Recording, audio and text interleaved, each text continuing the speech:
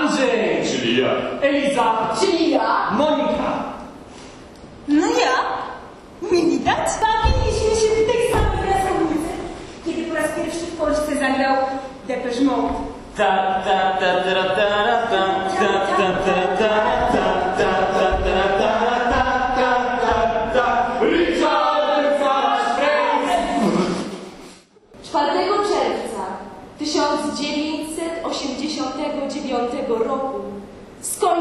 Polsce komunizm.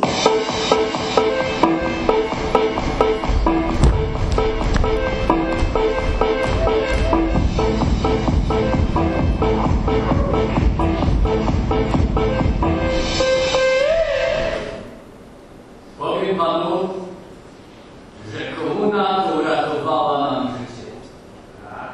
Patrzę na ten i myślę sobie, że ja to mi się, to, to, to mi się tam nie znalazł. Masz pan rację. Przecież zaopiekowali, dali żyć, spać, a wszystko za darmo. A teraz? Teraz, teraz to człowieka wszyscy w dupie mają.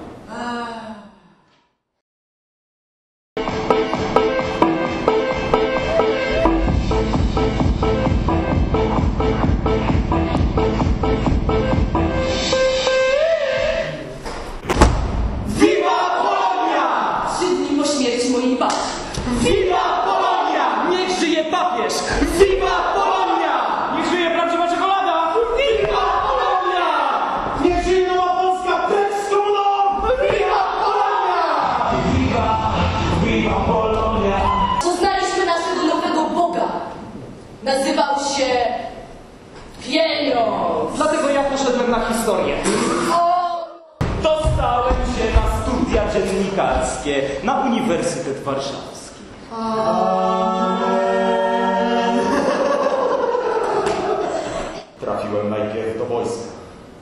Na rok! zwariuję, oszaleję, zwariuję. Nie, spokojnie, spokojnie, nie tak nie muszę. No bo ja zdecydowałam, że będę studiować ekonomię na najlepszej uczelni w kraju. Tylko czekała na mnie gorzka niespodzianka.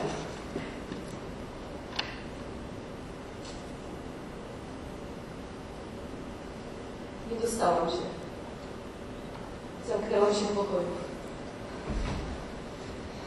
Плакала. Плакала неделю, плакала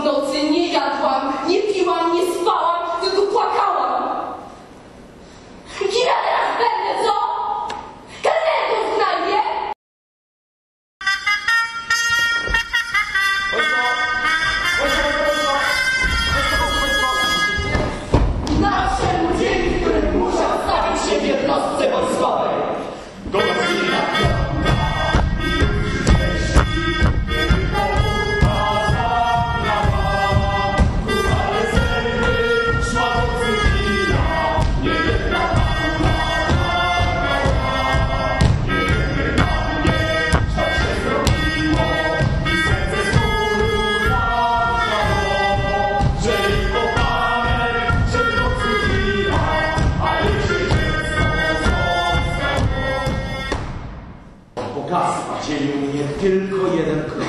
Wszystkiego, czego pragnę, dzieli mnie jeden krok. Sukces dzielił mnie jeden krok. Sukces dzielił mnie jeden krok. Sukces dzielił mnie jeden krok.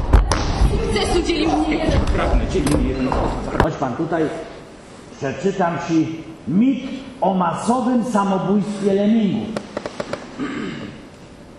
Patrz. Mit o masowym samobójstwie lemmingów. Lemmingi, szczególnie z gatunku lemming właściwy, zamieszkującego Skandynawię, w sytuacji masowego rozmnażania się gatunku opuszczają przegęszczony teren i rozpoczynają wędrówkę w dół dolin. Podczas migracji przebywają rzeki, a nawet wchodzą do morza i płyną przed siebie. Nie potrafią oc- ocenić odległości od celu, a jeśli odpowiednio szybko nie natrafią na ląd, masowo toną. Podejmowane warunki mają charakter trwały. Lemingi nie wracają do swoich wcześniejszych siedlisk. Jeśli zatrzymują się na terenach leżących poza zwykłym zasięgiem występowania gatunku, a warunki okażą się niekorzystne, giną. Populacja odtwarza się z osobników, które pozostały w rodzinnym siedlisku. W masowej kulturze, w odniesieniu do lemmingów, funkcjonuje określenie masowe samobójstwo. Mit powstał wiele wieków temu w Skandynawii, gdzie w ten sposób starano się wyjaśnić nagłe zmiany liczebności populacji. Lemingi miałyby instynktownie dążyć do samozagłady, aby zapobiec zbytniemu zagęszczeniu populacji. Duży udział w upowszechnieniu błędnej tezy miał film wytwórni Disneya z 1958 roku pokazujący lemingi skaczące na pewną śmierć do morza. Dopiero po 24 latach udowodniono, że sceny były sfałszowane. Kanadyjska telewizja wyemitowała film z cyklu Piąta Władza przedstawiający okrucieństwa wobec zwierząt w przemyśle rozrywkowym. Wykazano w tym filmie, że sceny były zaaranżowane. Film nie był kręcony w Norwegii, lecz w kanadyjskim stanie Alberta, gdzie nie występują lemingi. Sfilmowane gryzonie zakupiono nad Zatoką Hudson, skąd zostały przewiezione do Calgary. Natomiast wielka migracja była jedynie zręcznym montażem wielu ujęć wciąż tych samych kilkudziesięciu zwierząt, a w kluczowej scenie masowego samobójstwa lemingi nie zeskakiwały z urwiska, lecz były z niego zrzucane.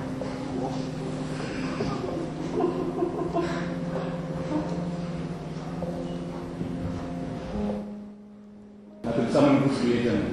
Jednej nędzy. O, nie bądź pesymistą. Mówię o realiach życia. Ja nie mam jeszcze 30. A myślę sobie, że drugi raz nie chciałbym się urodzić. Życie to strata czasu. I my w tym gównie. I w dodatku obrzucamy się nim z nienawiścią godną tylko człowieka. Co ci powiem, to ci powiem, ale ci powiem, masz pan rację. Żygać mi się chce, gdy patrzę na ten świat. No to co? Wypijemy po piwie?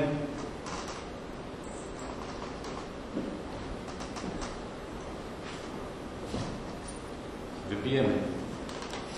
Za zdrowie żeby im się lepiej żyło. W polskiej demokracji.